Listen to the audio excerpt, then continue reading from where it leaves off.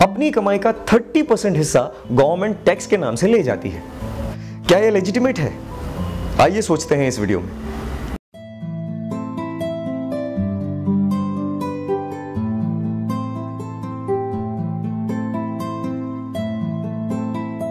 नमस्कार। जोत संस्था आपका स्वागत करती है। तो पिछली बार हम यहाँ रुके थे कि क्या हमें टैक्स भरना बंद कर देना चाहिए या नहीं कर देना चाहिए? और हम स्लॉटर हाउस के बारे में भी डिस्कस कर रहे थे। देखिए, कोई आदमी बिज़नेस करे या ना करे, लेकिन सिक्योरिटी और सर्विसेज़ गवर्नमेंट प्रोवाइड करती ही है। इसलिए टैक्स लेने का गवर्नमेंट के पास राइट है और हर एक सिटीजन की टैक्स भरने की रिस्पॉन्सिबिलिटी आती है। यदि कोई नहीं भरता है तो वो टैक्स चोरी कर रहा है, ऐसा कहा जाएगा। हाँ गवर्नमेंट जो स्लॉटर हाउस में सब्सिडी देती है, वो अन्याय या अनैतिक एक्शन है। बिल्कुल सही। क्योंकि सारी प्रजा नॉनवेज नहीं है ना। उल्टा वेजिटेरियन लोग ज़्यादा ही है। तो भी वेज ईटिंग सर्विसेज़ में कुछ नहीं करने वाले गवर्नमेंट वही पुराने ब्रिटिश लॉ के अनुसार हाइजीनिक मीट प्रोवाइड करने के लिए खर्च निकालती है। यह गवर्नमेंट की सीधी पार्शलिटी है। इस अन्यायी एक्शन का विरोध हो सकता है और करना भी चाहिए, लेकिन उसके नाम से कोई सिटीजन टैक्स चोरी करने का गलत स्टेप नहीं उठा सकता। कोई वो टैक्स के पैसों का सत्कार्य कर ले तो भी चोरी तो चोरी ही रहेगी। तो क्या टैक्स का प्लानिंग भी नहीं करना चाहिए? प्लानिंग का मीनिंग चोरी नहीं है भाई। टैक्स में प्लानिंग करना यह कोई बुरी बात नहीं है। लेकिन प्लानिंग के नाम से बोगस फ़ाइल खड़ी करके इधर उधर के बहाने बनाकर अर्निंग नहीं करने वाले परिवारजनों के नाम पर फ़ाइल बना देना यह तो सरासर गलत ही है ना? लेकिन टैक्स उसकी लिमिट में रहना चाहिए ना। थर्टी परसेंट टैक्स भर देंगे तो हमारे हाथ में क्या आएगा? अरे पर थर्टी परसेंट टैक्स हर किसी को थोड़ी भरना है। उतना टैक्स तो पर्टिकुलर स्लैब में ही लगता है।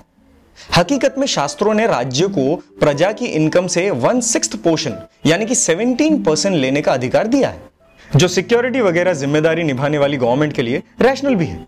आज इंडिया में जीडीपी के हिसाब से टोटल टैक्स का रेशियो देखे तो 16.8 परसेंट ही है, और धीरे धीरे उसको भी कम करने का प्रयास जारी है। दूसरी ओर, इंडिया आज वेलफेयर स्टेट है।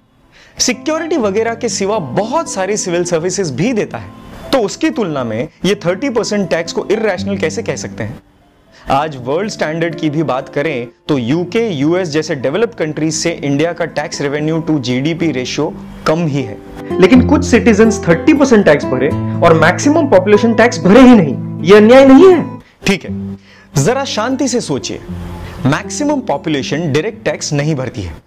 बाकी इनडायरेक्ट टैक्स तो सब भरते ही हैं। दूसरी ओर, हम एक सोसाइटी में जीते हैं, जंगलों में नहीं। जिनको ज़्यादा टैक्स भरना पड़ता है, उन्होंने उतना ज़्यादा कमाया भी इसी सोसाइटी से है ना?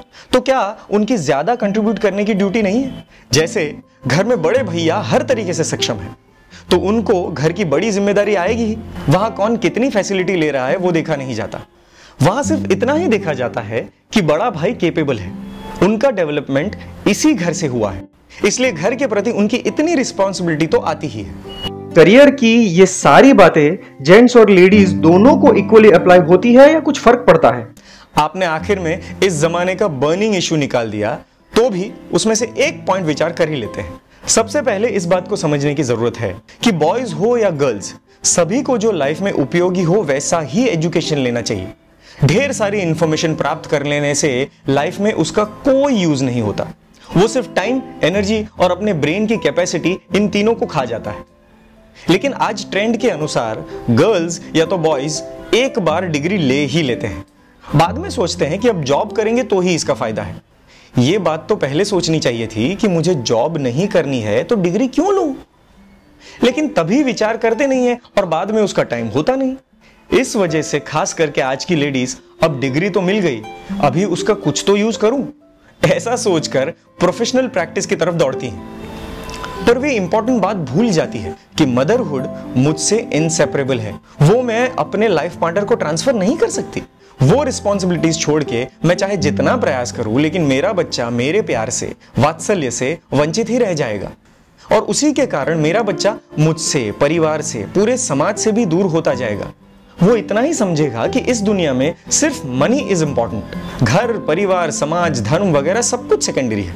क्योंकि मेरे माँ बाप भी सब कुछ छोड़कर उसी के पीछे दौड़ते हैं। इसलिए बाई हुक और क्रुक मनी इकट्ठा करने की विचारधारा उसके मन में बैठ जाएगी। और वही आगे जाकर छोटी या बड़ी साइज़ में क्रिमिनल माइंड का स्वरूप ले लेगी। कहिए, आपका बच्चा आपको, परिवार को या समाज को उपयोगी बने ऐसा चाहते हो? कि एनी भी बने ऐसी इच्छा है आपकी? विश आपकी है। शांति से ओपन माइंड से सोचिएगा। बाकी ये विषय तो बहुत बड़ा है। हमने तो सिर्फ़ एक पॉइंट ही सोचा है इसका। अब तक के सारे एपिसोड्स में हमने करियर रिलेटेड पॉइंट्स को संक्षिप्त में जाना है।